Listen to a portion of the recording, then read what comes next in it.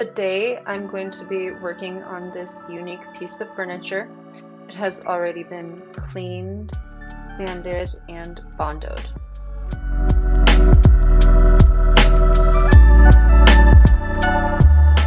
I'm going to use a synthetic brush to apply the primer. I'm going to just do one coat of primer. You want to make sure you stir the primer very well. It tends to separate.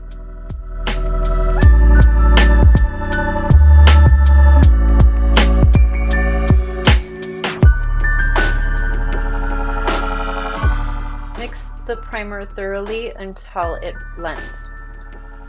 A nice little trick I found is just using a vacuum cleaner to get all of the dust out of the corners.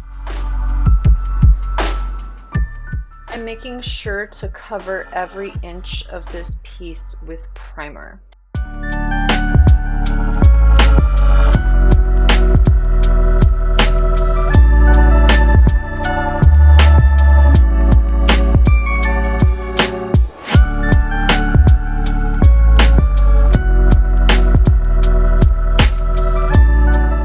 It took quite a while to do, but it is a necessary step specifically with this piece because this piece was not in perfect condition.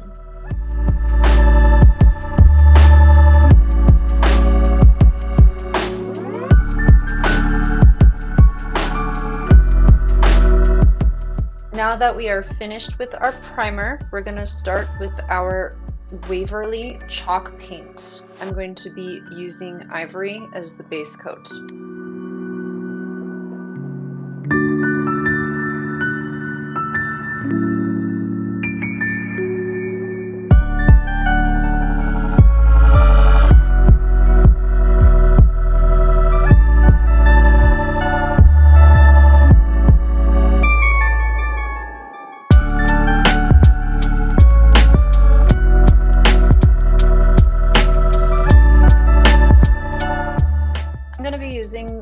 Brush to go around the hardware. I will end up getting a bit of paint on the hardware, but I just want to minimize that, hence the detail brush.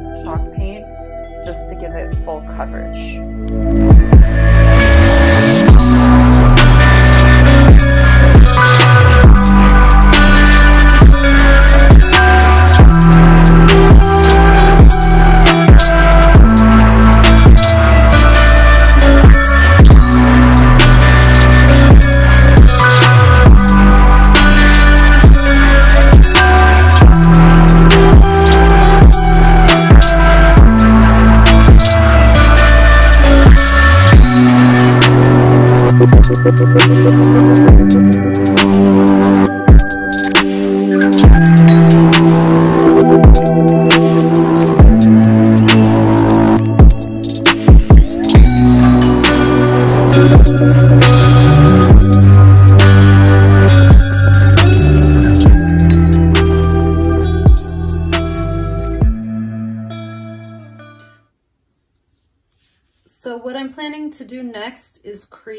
Texture on the sides of this piece. So I'm gonna go ahead and take my brush. I'm gonna dip it in the paint like so, dab it on, and blow it dry with my blow dryer. And this will create a nice textured look on the sides of the piece. I'm planning to keep the top flat and uh, let's see how this works out. This will be my first time attempting this.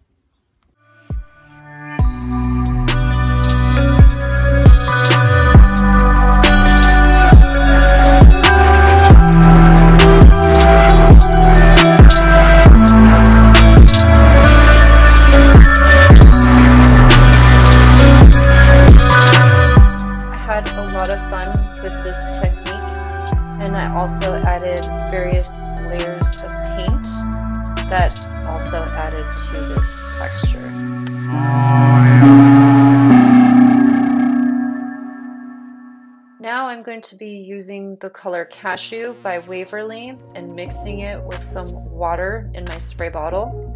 And then I'm going to go ahead and apply this onto the piece.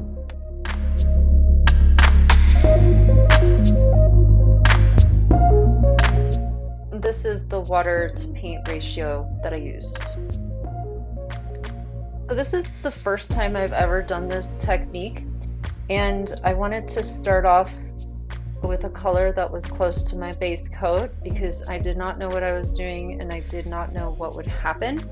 So I decided to just transition slowly from the lightest to the darkest color and then also at the end I added a bit of the lightest color again just to add a bit of highlight.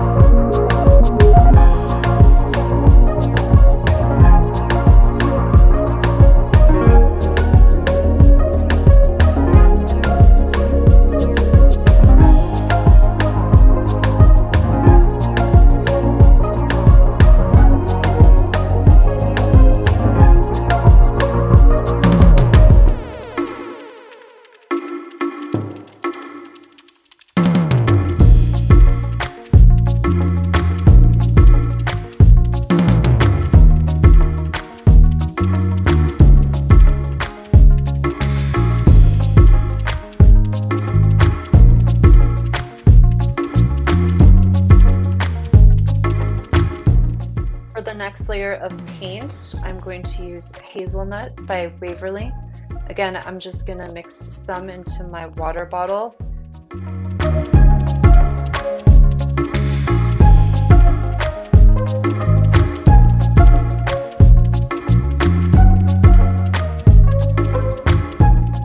So I am using the same technique as I did with the color cashew. I'm to just be layering color upon color, layer upon layer.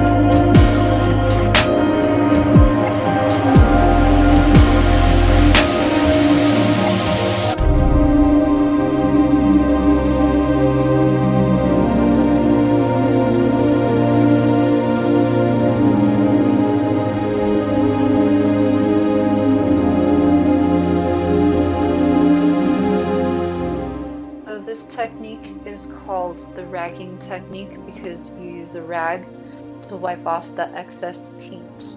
It's cool because you can create layers and make it look texturized.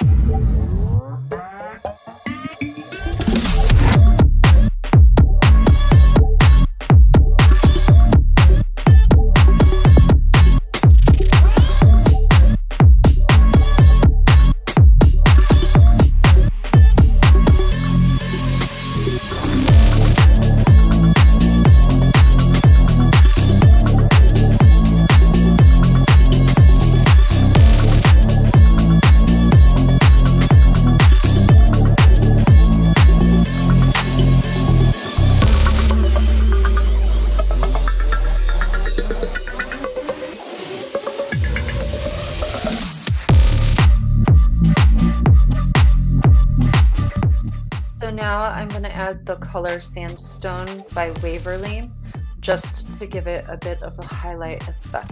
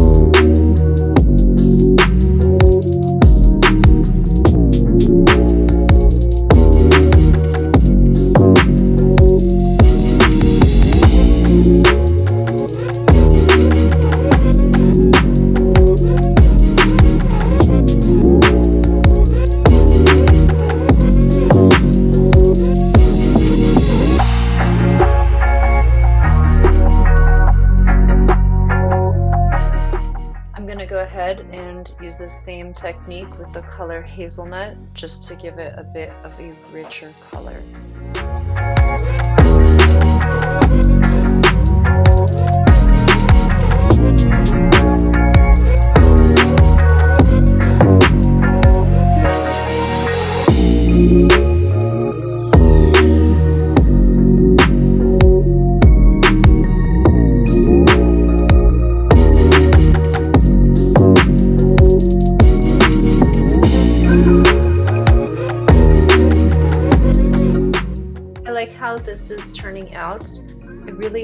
Wanted to give this piece kind of a leathery feel and that's what this is turning out to be for me.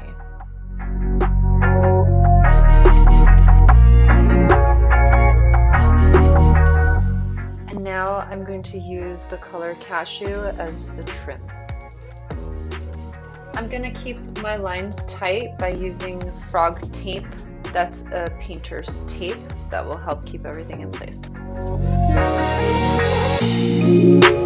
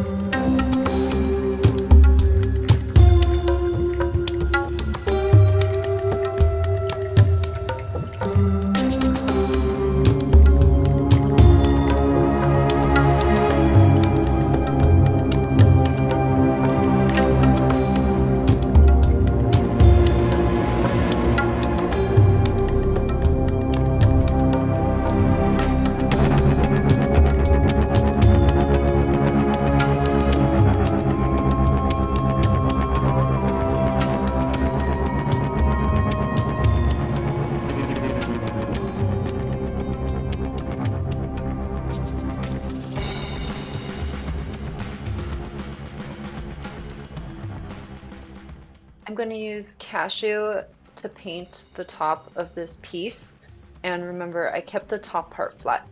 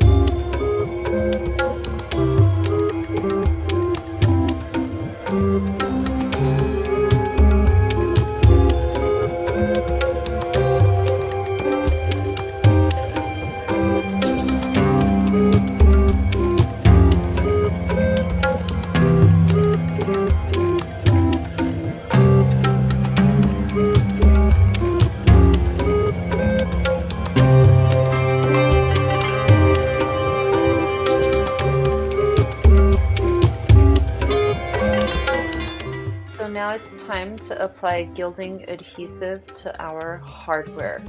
I'm going to go ahead and use this crappy little brush to do so.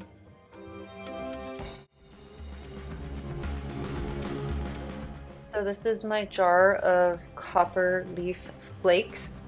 I try to collect as much as I can when I'm done with these projects just because there's always little bits here and there that do need a little extra gold leaf and I don't want to bust out a whole leaf for just a little corner.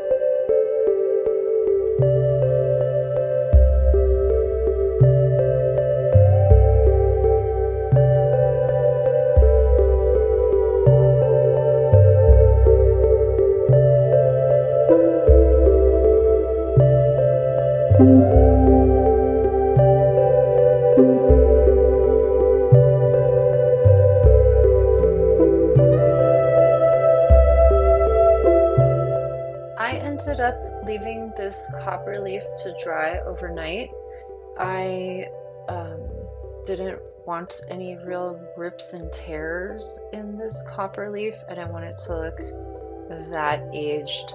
So I wanted to make sure it got really set on that glue. And then the following day, I took a brush and removed the excess.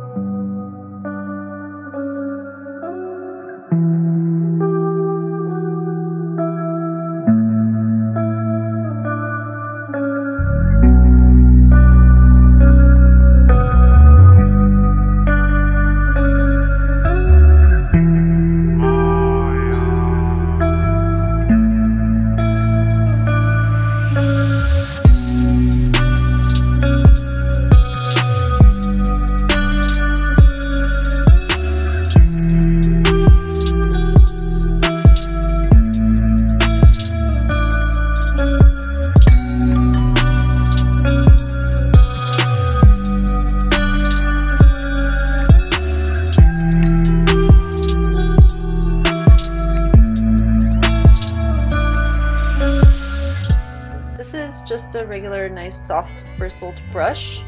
I find it like to be perfectly firm and soft to be able to pull off this copper leafing.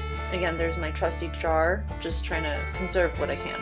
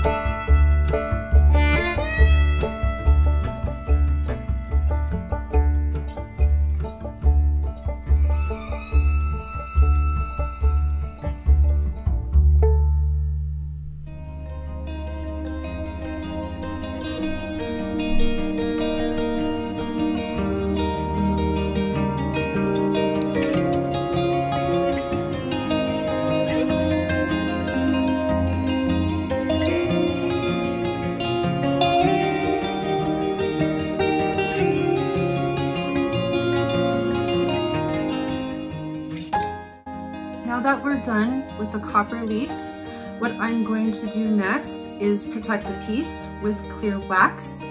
And after that, what I'm gonna do is a little bit of experimenting. I saw this on another video that Chris Donna did. If you haven't seen her work, I would check it out.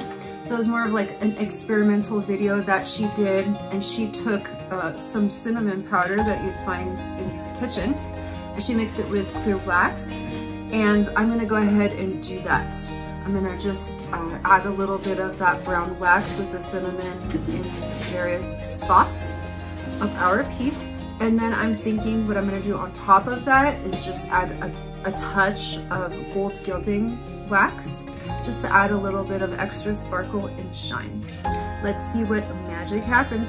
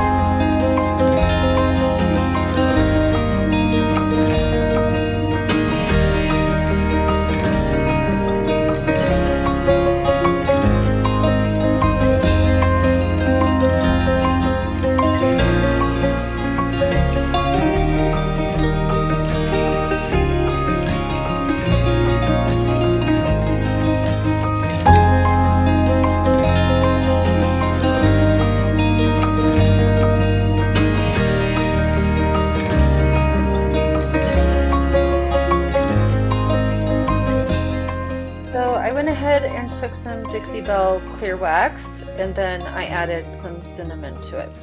So don't do this if you don't want the following thing to happen.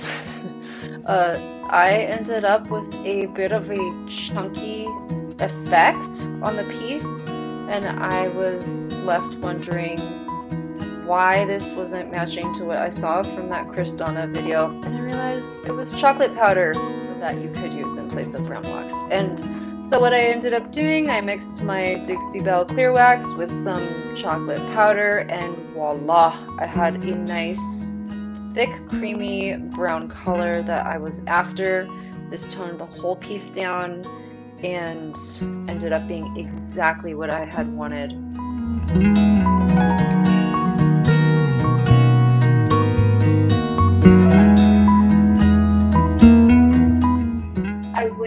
Over the top with a bit of the brown wax as well, just to give it an aged feel. By this point, the piece was heavily waxed, so I actually just took a bit of that chocolate powder and put it on my paintbrush and went over the edges of the hardware to continue to give it an aged feel. And the chocolate powder actually adhered to the wax and stuck. Just buffing out any marks that I don't like and blending everything together here.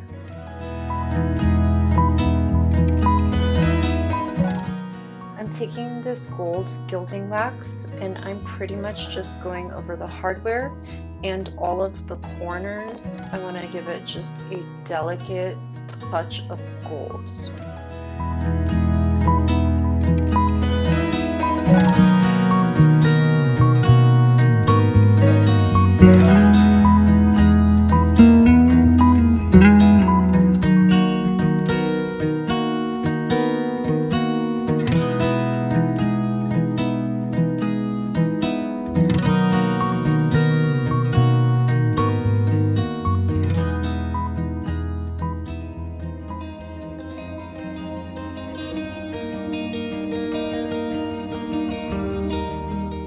Again, I don't want to overwhelm this piece with any more shine. I just want to add a touch of that gold to bring everything together.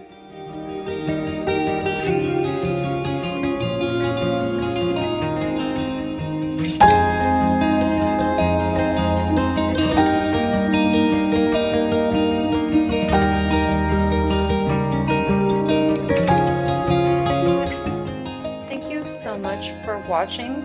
If you did like this video, please go ahead and press that like button. And if you'd like to see more like this, you are welcome to subscribe.